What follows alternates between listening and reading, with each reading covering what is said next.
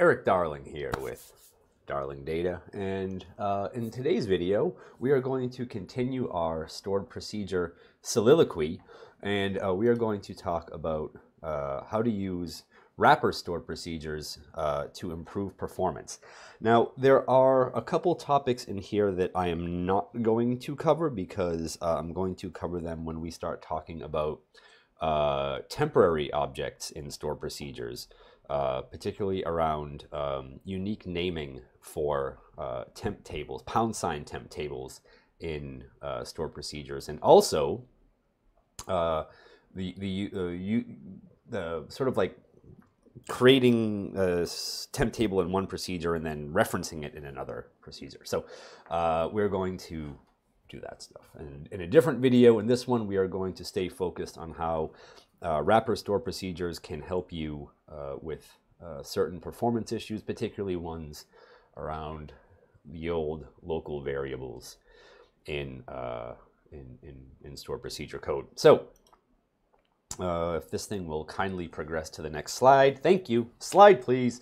Uh, if you would like to support this, this grand content that I produce for you, uh, you are free to click the little link in the, in the video description that says join and become a full-fledged paying member. I'm going to have a little, little surprise for paying members uh, coming up there, a fun little thing to test out. Um, and uh, for as few as four dollars a month, you can you can help me stay motivated to do these things. don't, don't mean to threaten you too much here. Uh, if you if you are, are, just shy of four bucks, it's nothing nothing good going for you. I don't know. I don't know what's wrong with your life. Uh, you can do other things to support this channel, like like and comment and subscribe. Uh, I, have noticed that um, a few videos lately uh, which is, is, is, rare for me, have gotten a thumbs down. So if, if, if you are planning on leaving a thumbs down for some reason, uh, please do uh, leave a little note as to what, what, what did not meet expectations. It is difficult for me to improve if you, all you do is say boo. If you, if you, you know, if there's a, a good reason for it, please, please do let me know what it is. Even if it's just me, even if it's just, I, I hate you I hate you and I want you to die. You can you can say that. It's fine. I have I have very thick skin. Uh, if you would like to ask a question uh, that I will I will answer on my office hours episodes, uh, that link is also available in the video description. If you click on that, you will be taken to a page with some information and, a link to a form where you can you can plop your question in there. Um, I have I have a few episodes of those recorded and scheduled out since I answer five at a time.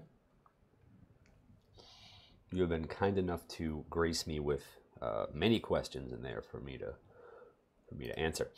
Uh, if you need help with your SQL Server beyond what uh, you think uh, uh, an anonymous question answered on YouTube can uh, provide you with, I am available as a consultant with reasonable rates to do all of the above tasks and more. don't don't feel limited by by this list. There are, there are many other things we can do here. Uh, if you would like some uh, re, uh, also reasonably priced SQL Server performance tuning training, uh, I've got a hedge, a hedge over 24 hours of that, and you can get all of that for about 150 US dollars, and that is good for the rest of your life. It is not a subscription product. Uh, it, that this link is also fully assembled for you down in the video description. Uh, SQL Saturday, New York City, March 10th, May 10th. I don't know why that always happens to me. May the 10th of 2025, New York City, Microsoft offices, Times Square, Performance pre-con by Andreas Wolter on May 9th. Be there or be forever square and you're holding something. Peace. Anyway, let's talk about wrapper store procedures. And I'm not, I'm not talking about, uh, actually, that, that would be a stupid joke. I'm not to, I'm absolutely not to make that joke. I'm actually somewhat uh, appalled with myself for even considering making that joke.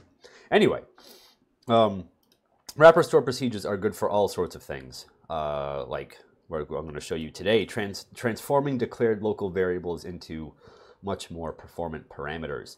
Uh, preventing code from compiling when it is not used in a like in an if branch, uh, which would be a very handy thing in some cases, and also uh, generating different query plans to deal with parameter sniffing, which is a, a perfectly good and valid use case, but it really only works if you are worried about uh, a couple different um, fault, like like maybe like one or two faulty parameters. Beyond that, uh, the number of store procedures that you need to maintain to deal with that is quick, very quickly becomes unwieldy, and you are much much better off in the majority of these scenarios just using some well-formed dynamic SQL. Uh, there is some upside to this, of course, over dynamic SQL. Um, you know, all the typical stuff around security and permissions, and you know, uh, if you're into that sort of thing, you might care very much about this. I do not. Um, I, I, I do not delve into security. I do not I do not delve into permissions. I, I stay away from that stuff uh, just as much as possible because it is incredibly dull and frustrating and annoying. I have I have just I, I have enough grievances and annoyances with um, having to use authenticators for things where like not like uh, uh, oh i'm never going to use an authenticator. Send me an SMS like I, I, use authenticators for a lot of stuff. Just, it's aggravating because i have like five of them now and some of them have really long lists of stuff and i'm like well i can't never can remember like wh- like which thing is in where and then like like, like scrolling through this long list of crap and then like they all do like the yes the, the confirmation screen differently where it's like like the yes and no will be on different sides for different authenticators. And then like some of them just have really confusing logic like like yes it's not me or no it's me. And like what, what huh? Should, which one lets me in? Just just give me a green button and a red button. I don't need i don't need all this confusing wording on my authenticator apps. Life is hard enough. Anyway um the, the, sort of downside of store procedure using store procedures uh, or you know for st- like if you have like ma- store procedures that are going to have to maintain uh, duplicative logic. That's where it kind of sucks just for that thing because now it's like if you change one, you have to change the other one, and if you have a bunch of them, you have to change a bunch of them. Uh, but there is a shared downside of um, well, I mean, not a downside, just a little bit of a caveat uh, to either wrapper store procedures or dynamic SQL, where the resource usage of the underlings right? Like the, the inner store procedure or the inner ex execution of dynamic SQL will all be attributed to the outer store procedure. So like you might be looking at the plan cache or most likely query store and you might see a store procedure pop up in there and you're like, wow, this thing, this really does all that? And then you look at the store procedure and it calls like other store procedures or creates a bunch of dynamic SQL and that like all of that bubbles up to the parent that calls it. And so um, you like like it, it just becomes like a little bit more uh, strenuous to figure out like either which of the sub store procedures or which of the ex- dynamic SQL executions um, you know uh, caused a problem. Granted, it's a little bit easier to uh, find uh, other store procedure names in either the plan cache or query store, um, as long as their plan cache is sort of reliable. But uh, I, I think you know uh, with with dynamic SQL, the the additional sort of um, additional sort of pain with that is that uh, there is no parent object associated with it. It is completely headless and detached, much like um, Microsoft's implementation of the parameter sensitive plan optimization, where like like there's like like the like you don't get like the the, the calling procedure name with the plan variant, which is pretty annoying. Um, but you know, if, if, if performance is generally acceptable, this is somewhat less of a concern overall. Uh, oh, hey, ZoomIt. First, first wink of the day. Uh, but if performance is okay, then you, you generally spend less time on this. Um, of course, the you know the the classic uh, solution for dynamic SQL is to put a comment in the dynamic SQL block with the store procedure name that calls it. So you can still search the text of stuff for a store procedure name. That's just a little uh, more CPU intensive than just looking for an object name. But the goal for us is, of course, better performance. It is not necessarily any of any of this stuff. So we're gonna we're gonna not talk about much more of that stuff. But this is kind of my point with wrapper store procedures, right? Like, like let's say you you know do some stuff, and then based on that stuff, you go do some other stuff, right? Now, uh, let's just say let's just pretend that these are store procedures, and let's just pretend for a second that uh, you know uh, we we maintain very similar logic in these. And all of a sudden, if we need to add some exclusion or exception or some other columns or some additional join logic or filtering logic or something, uh, that you know we have to maintain that now across two of them. Obviously, a little bit more work for you and some more stuff to have to remember. But again, minor point. Uh, if you have a lot of if-else branches, uh, you'll have a lot more store procedures to dig around. Um, let's see. Uh, da, da, da, let's see. Store procedures aren't a very good use case for kitchen sink queries that have a lot of optional parameters because, again, the number of permutations and different combinations of stuff is not going to be fun for you to uh, create all the, those objects for. Dynamic SQL is the best, uh, best deal there. But for this one, I'm just going to show you real quick uh, how uh, wrapper store procedures can be useful for uh, fixing performance problems with uh, store procedures that use local variables in them, since that, since that is sort of what led us to this point. Uh, so we've got two indexes on the post table. Uh, one called P0 that is just on the owner user ID column, and I already created these because I didn't want to make you wait I did all that. And one called P1 that is on parent ID, creation date, and last activity date, and includes post type ID. And uh, what we're going to do is pretend in here that either someone did something like this, right, and said when parent ID is less than zero, then set parent ID fix back to zero. Uh, or they were just like, they're, they're just one of those, ha ha, no parameter sniffing, people. All right, that's like not not the brightest bunch typically.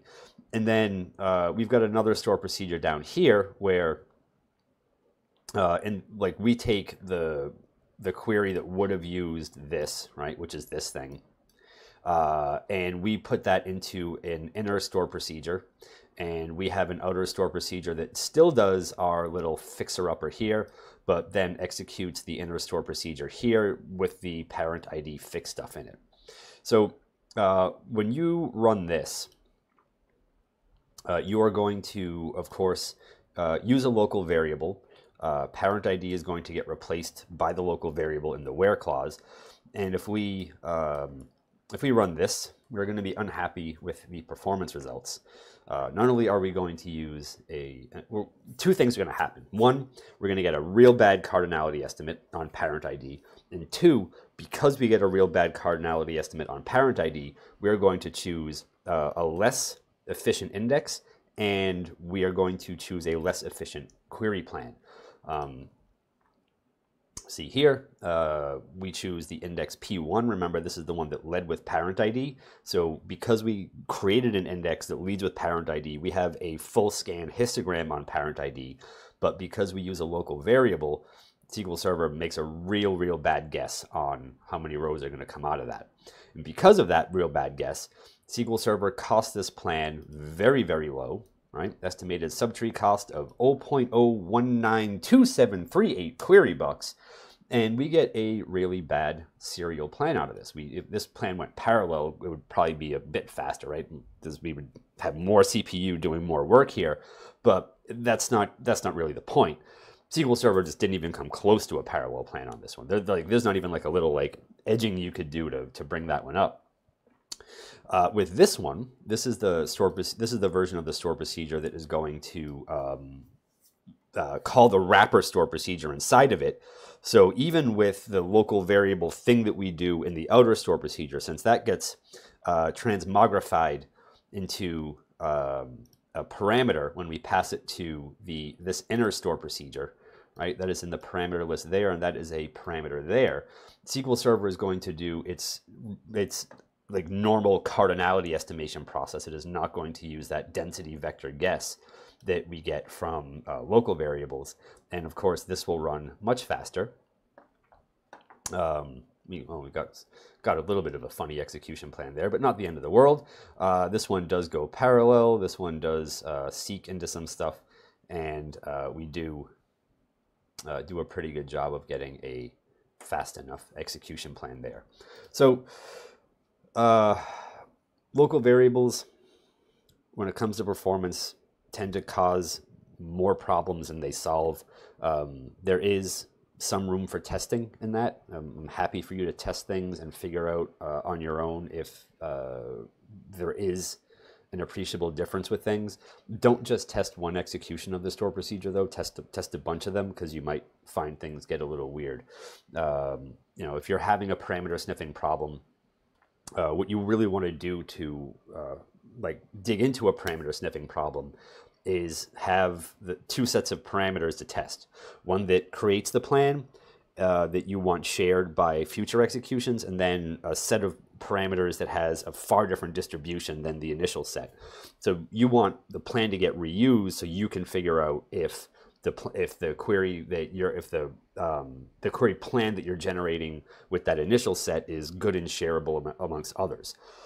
If you're going to test local variables, don't just test that test like everything, right? Like test like test the first set, test the second set. Don't just test one set. Like make sure that um, whatever like whatever parameters you're testing the local variables with, you have a variety of values that you can put in there to make sure that uh, across a, a large number of executions, you see uh, a, a, a, significant improvement. That is not just a one and done thing, right? That is, if you are facing a parameter sniffing issue and your big idea to fix parameter sniffing is to remove parameter sniffing from the equation by using local variables, then you need to seriously consider um, uh, finding a, a, number of permutations that, that cause the, the, the, the, the parameter sniffing issue in the first place and making sure that it is, uh, uh, it is significantly better in both cases. You don't, you know, you don't just want to be one of those people who said, "Oh, it seemed to help." Number of phone calls I get on where I see dumb stuff in code, and someone says it seemed to help, and then we're sitting there staring at some like query that runs for like thirty seconds, a minute more. Like, did it seem to help? Did it? What what what what did it help exactly? Did it finish a second faster? Like, tell me, tell me what it seemed to help because we're on the phone now, and it, and it didn't seem to help anything. Just we have we have we have reached an impasse with with with it seeming to help. So uh, just be careful out there when you're using them. Um, make sure that you are testing things thoroughly, and make sure that you uh, see uh, uh see your see an actual improvement. Look at those actual execution plans because that will tell you that will give you more information than you just running the query and being like, yeah, it seemed to help. Because someone like me will sit there and stare at you. stare into your soul until you admit you were wrong. Anyway, thank you for watching. I hope you enjoyed yourselves. I hope you learned something, and I will see you in the next video uh, where we will talk about some other store procedure stuff with a, undoubtedly. Or maybe maybe we'll take a break from store procedures and talk about something else, and then come back to store procedures. I haven't, I, I cannot see into the future, my friends. I am I'm anything but psychic. Anyway, thank you for watching. Goodbye.